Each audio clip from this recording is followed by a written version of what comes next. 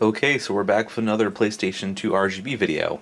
Like I said before, I got a hold of these, which is known as a SCART cable. This is a third-party SCART cable. SCART cables weren't really available in the US or North America. And in Europe, they were really common. They're pretty much an RGB cable for Europe. I believe they had ones that only did composite and stuff, depending on your TV set. Pretty much all the pins you need for anything are there. I'm not going to go into much detail about the technicalities of the cable. Just know that this can output RGB from your PlayStation, any PlayStation with the AV out port, Sony PlayStation 1, 2, or 3 model, including the PSX, I think. I actually haven't used the PSX, so I'm not sure.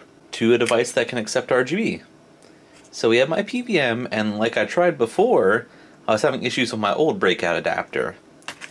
So for this PVM, we will need this adapter.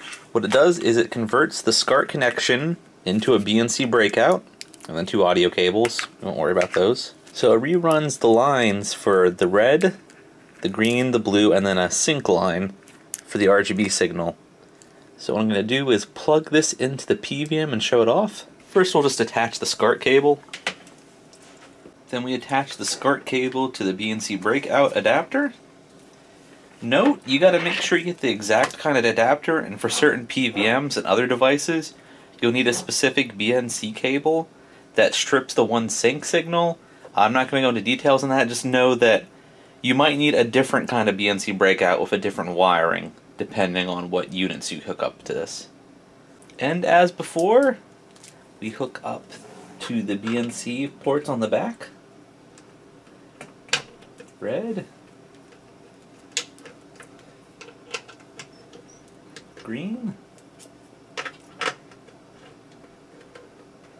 blue, and then the video sync.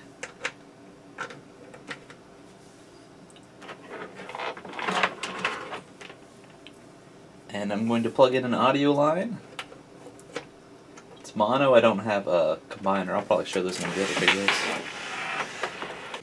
So I already hooked up the PVM before and I set it for the right signal. Depending on what display you plug this into and what adapters you use, you have to make sure you're set on RGB. And I still have the PlayStation 2 set on RGB from last video that I did.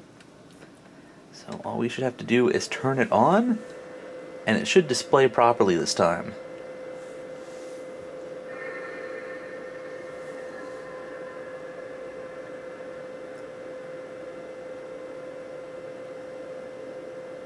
And there you go. There's a basic overview of another output cable. Eventually, I will go and make a more depth video on RGB output on the PlayStation 2. I am a little busy right now, so these RGB videos are kind of more of a quick thing. Plus, your average person in North America wouldn't even have used them. Okay, until next time, everybody out there, stay safe, and we will see you again soon. Take care.